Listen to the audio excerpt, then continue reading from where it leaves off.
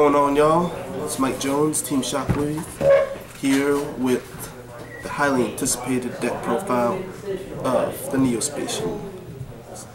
Now, a lot of people have been wanting to see this deck uh, playable, and I know there's been some builds around, uh, floating around, but um, I'm here to show you my build and my tech, and um, well, show you that uh, these little guys can actually pack a punch, take down some of these um, asshole decks. Let's get to it. Alright, let's kick things off with the monster lineup. Got three Prisma. This guy's your bread and butter. Gets everything started. Get that, um, dump those those Neo-Spacians in the grave like no tomorrow. Two Elemental Hero Neos. The only reason why I'm playing two is because you don't want to draw into this dude. It's a pain in the ass to have. And with the searching ability of heroes and the fact that you have Prisma, it's, it's really easy to get him out of the deck. One Elemental Hero Stratos, for obvious reasons. Now for the Neo Neo-Spacians. Two Air Hummingbird. That's crucial because this guy's your win condition. You want to have two in the deck uh, uh, just in case um, for some odd reason you don't get it off with the first one. You have another opportunity to use them again. One Neo-Spacian Grand Mole. One Neo-Spacian Aqua Dolphin. One Neo-Spacian Flare Scarab.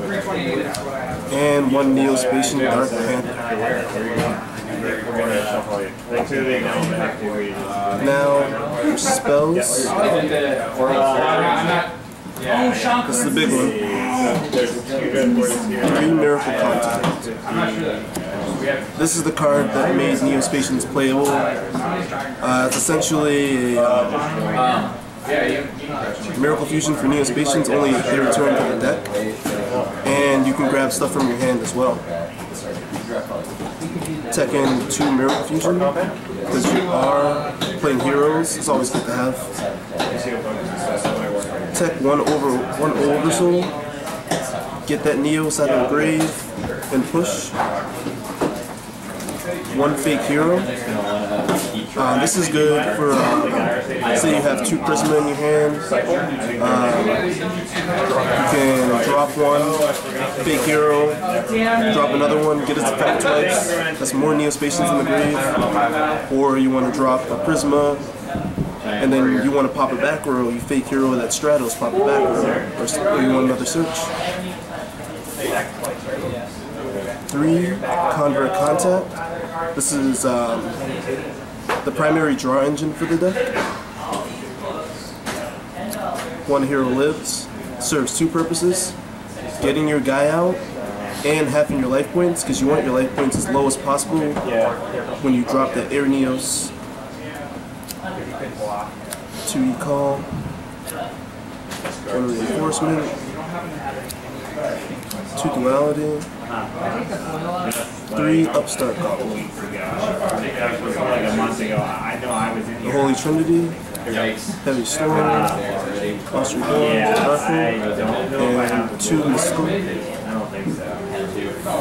And the only traps that I'm playing.